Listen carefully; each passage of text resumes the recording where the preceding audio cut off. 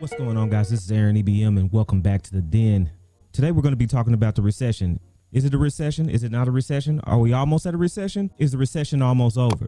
No matter if you listen to a media outlet or not, you all know something is going on. You just look at the prices. The prices of everything have skyrocketed 50% to 100% more than what they were last year. And this is taking a toll. If you're an average worker or if you are a mid level worker, you're all feeling the pinch. By all means, I am not a professional. I'm just a regular guy, just like you. I'm just here to tell you what I've been through, share some of the mistakes I made, some of the good decisions, some of the bad decisions, and just give you the information so you won't make the same mistakes I did. And yeah, I'm wearing glasses tonight. I wanted to do something different. So what? This is my channel. Guys, the first thing you need to understand is no one's coming to help you. You are all alone. We are not the we are not the women of society. We do not have safety nets. We do not have things and people that will have our backs. We are all alone. We're the only ones that will protect our families. We're the only ones that will provide for our families. So guys, remember that the first tip to this video is guys, know and understand that you are all by yourself in this.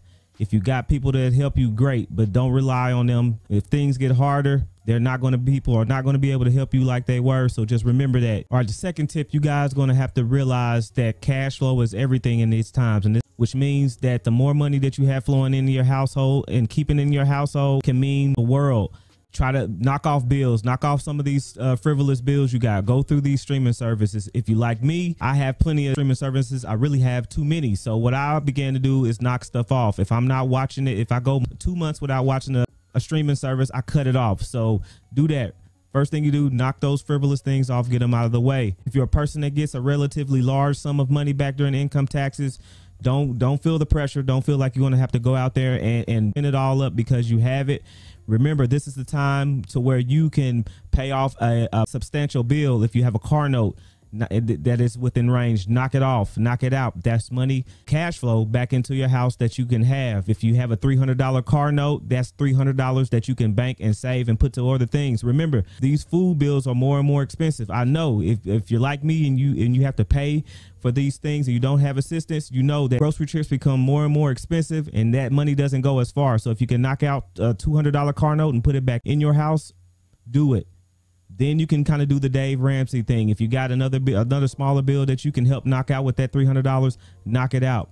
You're going to need that extra cash flow in, in, in, your home. I don't feel these things is, are, are, going, are going to get any better. I feel like things are going to get worse. So this is the time. If you're able to knock those bills out, knock them out and knock them out fast. I know this is kind of like the things that you're supposed to learn in budget basics, but hey, I'm here to tell you that extra money, that cash flow you get in your house, start to save it, put some of it back, or else you'll get into the habit of spending it all up and you'll be in the same position that, that pressure will become uh, come off of you, especially if you have kids and you have a family because you guys got to realize no matter what the the people say out there no matter what uh, social media tells you or the media in general tells you about being a man and everybody's equal we all have our innate roles as beings.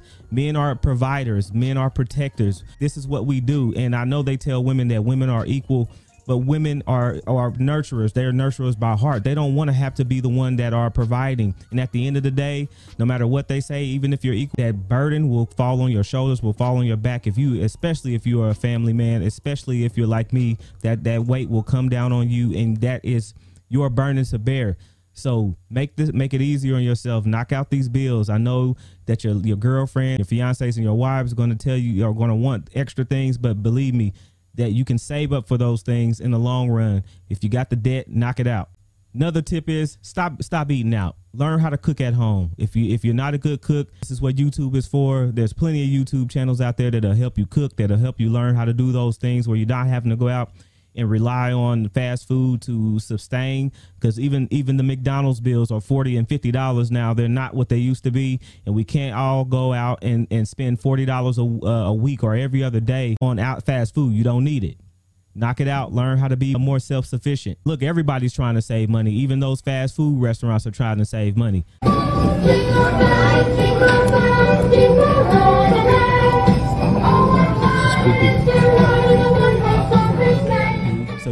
what you have to do. Don't be a don't be a consumer. Be more of a producer. And the last thing is stay strong. I know I, that I'm going to tell you that you are the last line of defense in your home, and that's what you are there to do. And think you're there to make the hard decisions. You're there to make the decisions that nobody else wants to make, or nobody else should have the burden to make. You are there as the head of the household. You are there to be that leader.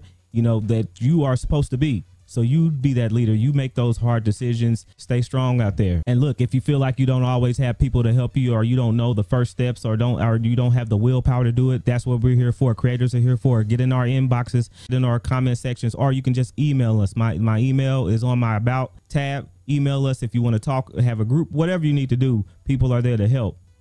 And like I said before, nobody's coming to help men. At the end of the day, you're going to have to be your own motivation at times. Simple tips let me know if you like this video. I appreciate you guys for being with me. Until next time, everybody. Peace.